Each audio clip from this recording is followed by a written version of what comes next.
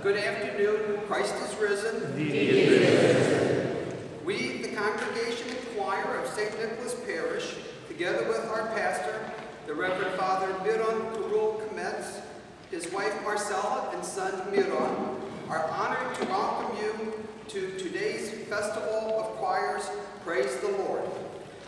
This concert, and now as I look at the groups that we have here, um, we're honored to welcome you, and this really is going to be a concert of East meets West, um, which is which is very good thing because we've always heard of the church having two lungs, the eastern lung and the western lung, and today we have a good time to have a fellowship together and to share our tradition of singing and praising the Lord according to how our churches, uh, you know, how, how we do.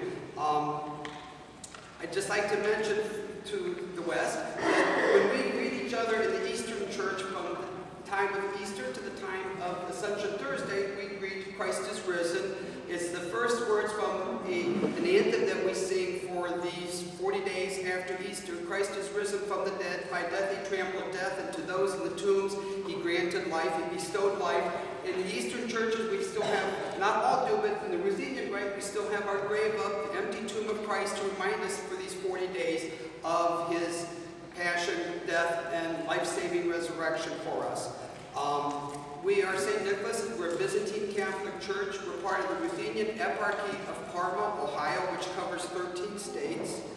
Um, the, some of the choirs from the east, you'll hear a different language. It's the Old Slavonic language, which to our Slavic Eastern churches is what Latin is to the Western Church. So, uh, you know, when you hear a different language with some of the songs from the Byzantine churches, that's it's the Old Slavonic.